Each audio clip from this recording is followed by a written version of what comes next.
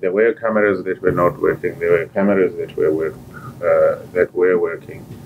Um, the additional information we could provide is that uh, indeed some of the cameras that were not working had been um, uh, under maintenance uh, by our security establishment. So I, when some of the cameras are being maintained, others are left are left working in order to make sure that they at least cover some parts of the university. So